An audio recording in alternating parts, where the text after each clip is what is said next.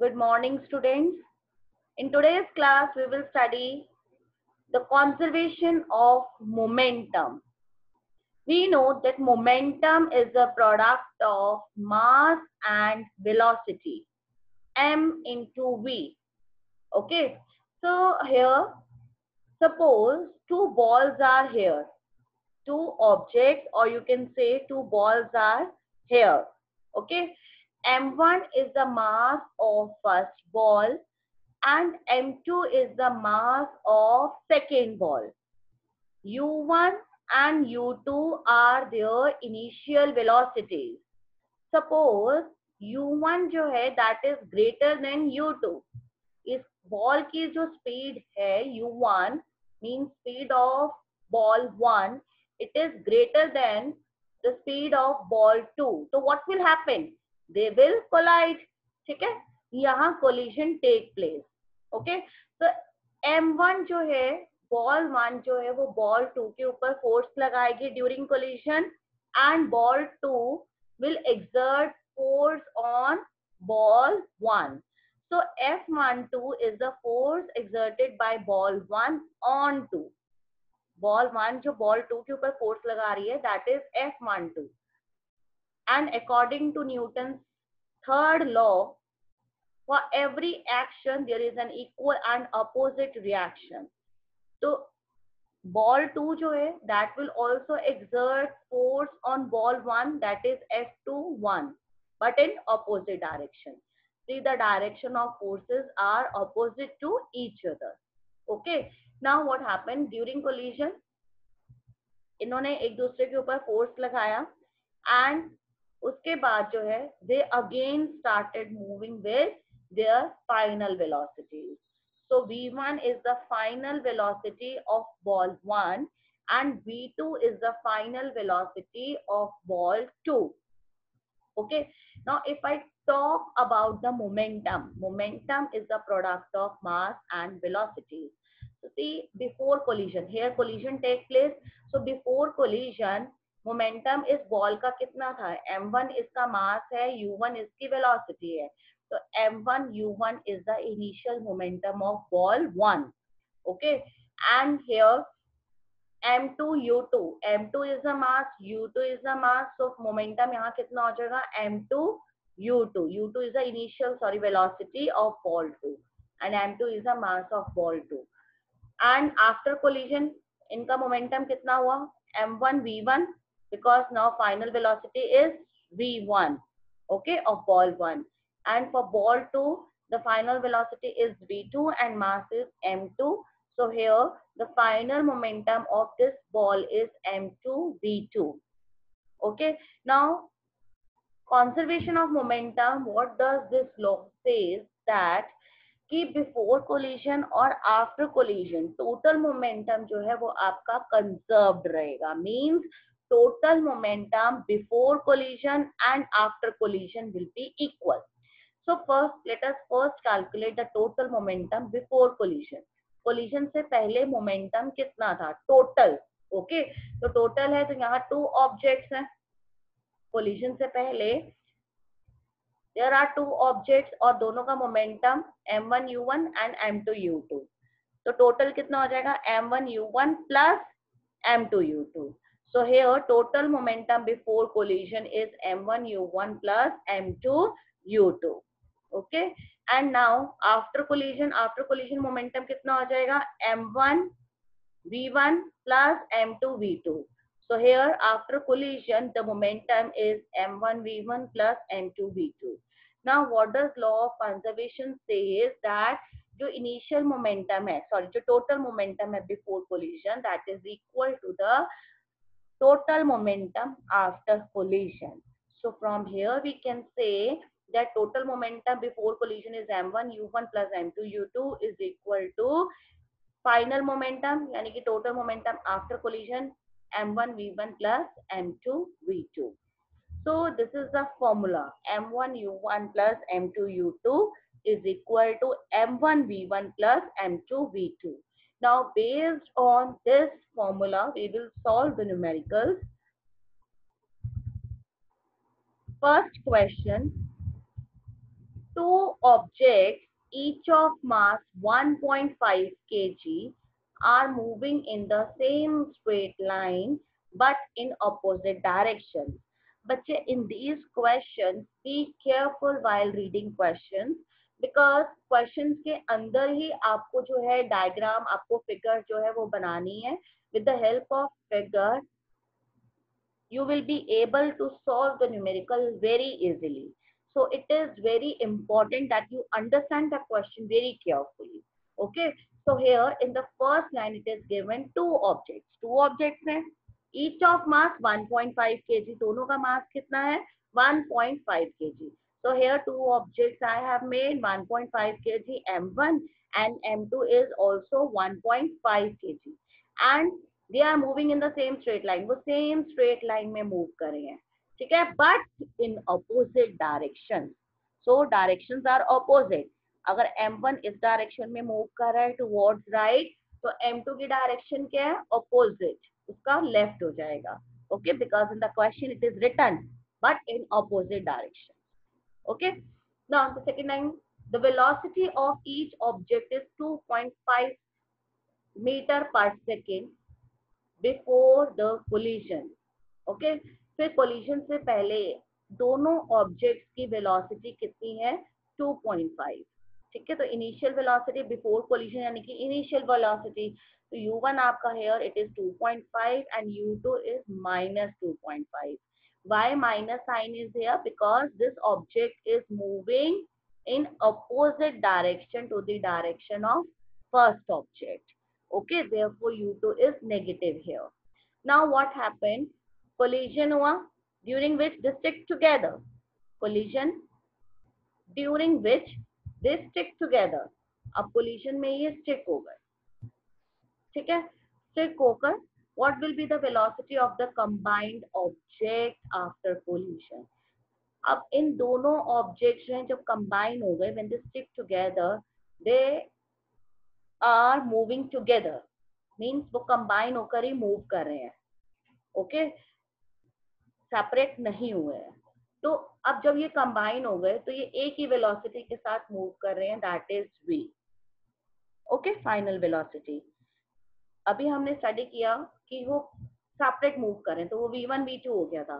But here combine एक ही velocity के साथ मूव कर हैं स्टिक टुगेदर तो here I have taken v okay अब इस केस में व्हेन दे स्टिक टुगेदर तो इनका मास भी जो है वो ऐड हो जाएगा।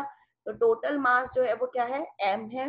That will be equal to m1 plus m2 यानी 1.5 plus 1.5 that is 3 kg mass इस केस में 3 kg हो गया। V आपको निकालना है। Clear now we will use the formula formula क्या था?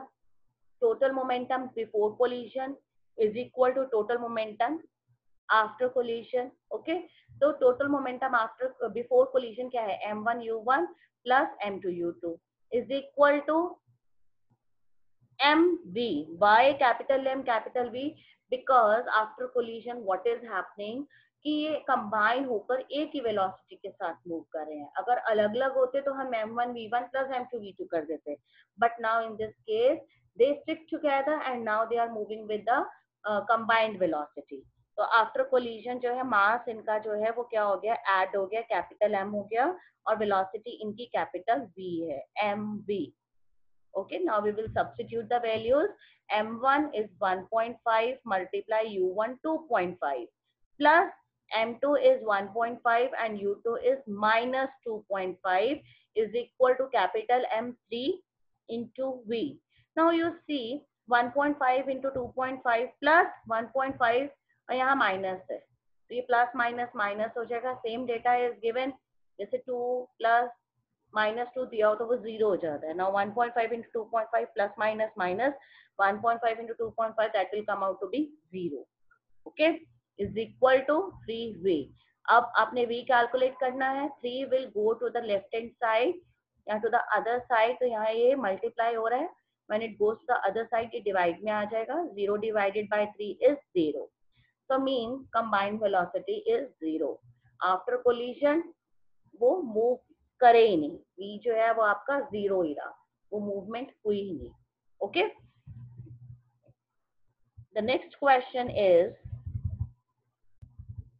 a hockey ball of mass 200 gram, traveling at 10 meter per second, is struck by a horizontal hockey stick.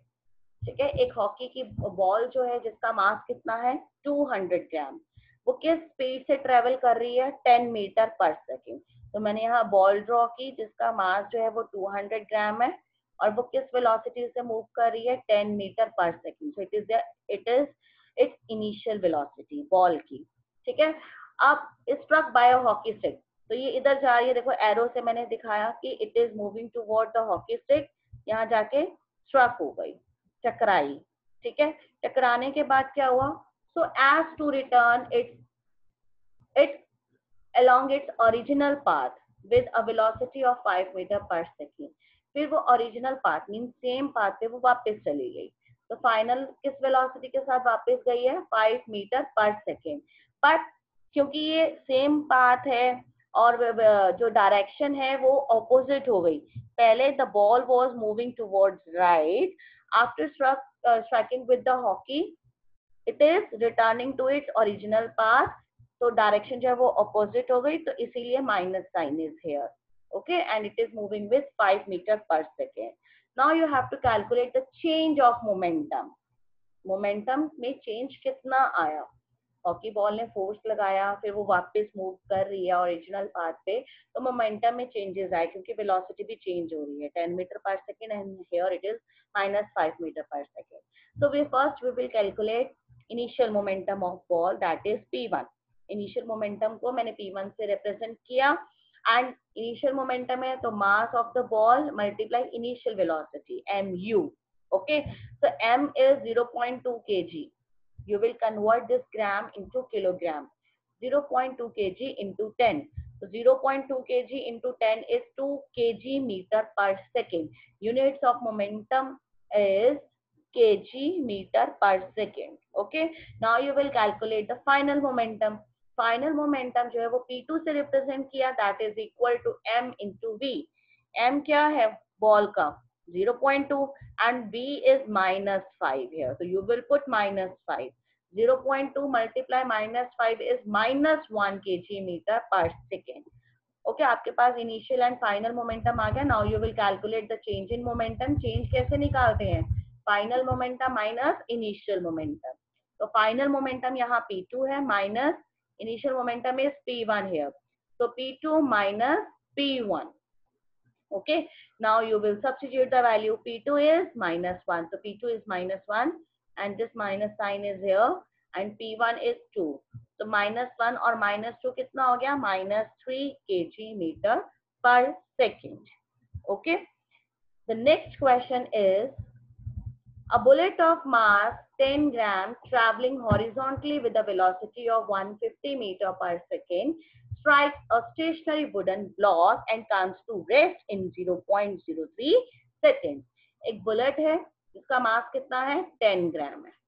Okay वो किस वेलोसिटी से मूव कर रही है? 150 metre per second so see this is a bullet mass is 10 gram when you converted into kilogram तो it will come out to be 0.01 kilogram and it is moving with a velocity of 150 metre per second okay? It strikes a stationary wooden block.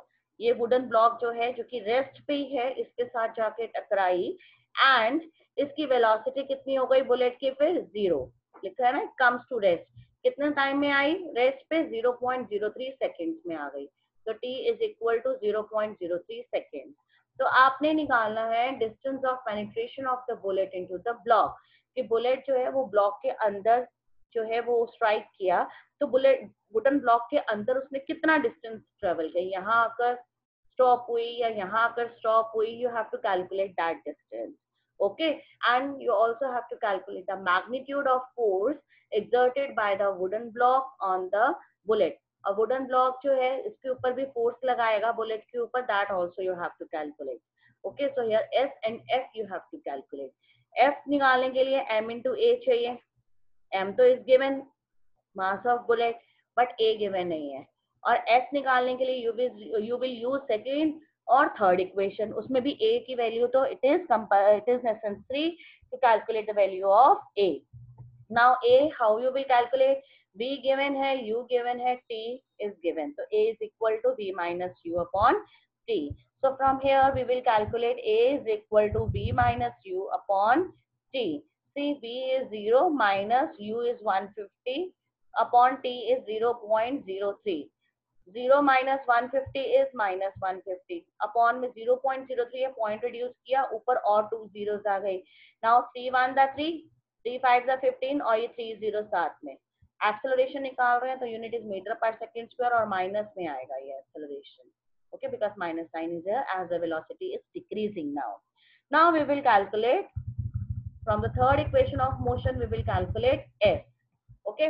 V zero, दिया हुआ question में minus U one fifty is equal to two A की value we have calculated minus five thousand into S okay zero का square is zero minus one fifty का square is equal to plus minus minus बाहर आ गया two into five thousand into S अब इसको आप दूसरी साइड ले जाएँगे एस को यहीं रहने देंगे. तो ज़ीरो माइनस वन फिफ्टी का square is minus one fifty का स्क्वायर माइनस साइन ये रहा। 150 का स्क्वायर करेंगे तो 150 fifty into one fifty expand करके लिख दिया and minus two into five thousand जब it will go to the other side तो डिवाइड में आएगा। माइनस से minus cancel and when you will calculate or you will reduce it in the lowest form so you will get s is equal to 9 divided by 4 that is 2.25 meter now you will calculate f f is equal to m into a m is 0.01 mass of bullet was given to you into minus 5000 A you have calculated. Uh, min, uh, 0.01 multiply minus 5000 is minus 50 Newton. Okay. The next question is two object of masses 100 gram and 200 gram are moving along the same line and the direction uh, same line and direction with the velocities of 2 meter per second and 1 meter per second respectively. Here, two objects are here m1 and m2 जिनका मास हमें दिया हुआ है 100 gram and 200 ग्राम इसको kilogram में change करके I have written here m1 is 0.1 kg and m2 is 0.2 kg and they are moving along the same line and direction means same line में वो मूव कर रहे हैं और दोनों की डायरेक्शन जो है वो सेम है। तो इस केस में कुछ नेगेटिव नहीं होगा because the direction is same okay and they moving velocities of two metre per second and one metre per second respectively means initial velocity of object one is two metre per second and object two is one metre per second now what happen they collide collision हो गया यहाँ पे and after the collision the first object move at a of one point six seven metre per second Determine the velocity of the second object. Collision के बाद क्या हुआ? Object जो है फ़र्स्ट ऑब्जेक्ट वो 1.67 मीटर पर सेकंड की speed से मूव कर रहा है। तो आपको सेकंड ऑब्जेक्ट की वेलोसिटी निकालनी है। ओके तो ये इस केस में ऑब्जेक्ट जो है, देखो दोनों सेपरेट मूव कर रहे हैं। ओके सो हेयर मास जो है, वो फ़र्स्ट ऑब्जेक्ट का दैट इज़ 0.1 केजी और इसकी वेलोसिटी कितनी है? Finally v1 1.67 meter per second it is given in the question and velocity of the second object yani ki v2 you have to calculate. Okay? So m1 u1 plus m2 u2 is equal to m1 v1 plus m2 v2 this formula you will use. Now you will substitute the value. M1 is 0.1 multiplied to m2 is 0.2 u1 u2 is 1 equals to m1 0.1 v1 is it is given in the question 1.67 plus m2 is 0.2 v2 you have to calculate so 0.1 multiply 2 is 0.2, 0.2 multiply 1 is 0.2 is equal to 0.1 multiply 1.67. A point जो है वो three decimal इधर shift होना चाहिए तो it is 0.167 0.2 v2 0.2 plus 0.2 is 0.4 0.167 को आप उधर ले जाएँगे लेफ़्ट हैंड साइड पे, इधर प्लस में, उधर माइनस में हो जाएगा। ठीक है? एंड 0.2 v2 0.4 माइनस करेंगे आप, इसमें से 0.167 तो you will get 0.233 okay is equal to 0.2 v2 now you see v2 आपको कैलकुलेट करना है 0.2 इधर मल्टीप्लाई में है। तो उधर जाके it will comes in denominator ठीक है? And when you will divide it, you will get 5 meter per second. So this is the velocity of the second object. Okay. Bache practice for the numericals. That's all for today. Thank you class and have a nice day.